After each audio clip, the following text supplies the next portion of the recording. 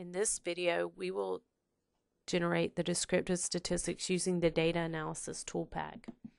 So we want to make sure that our data has been entered. And here I have the age and the pulse. And you can see that I have the descriptive statistics as generated by the built-in functions. But now I'm going to use a different tool. So if I go to Tools, Data Analysis, I'm going to click on Descriptive Statistics and hit OK.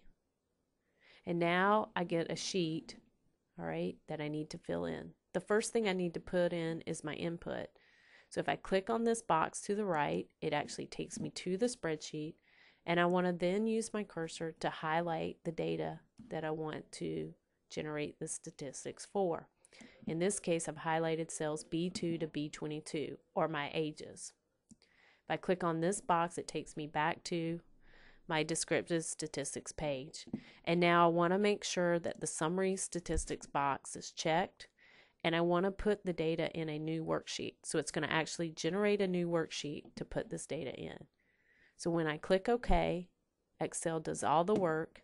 It generates a new sheet for me and here I see my descriptive statistics.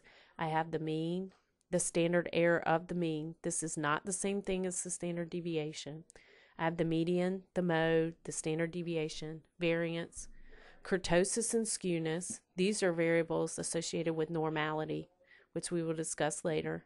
I have the range, minimum, maximum, sum, and count.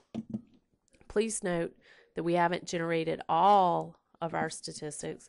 For example, coefficient of variation is not there, and we don't have any of our quartile or percentile data.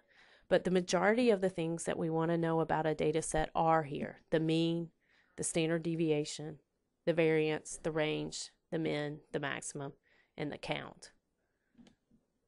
So that's how we use the data analysis Toolpak to generate our descriptive statistics.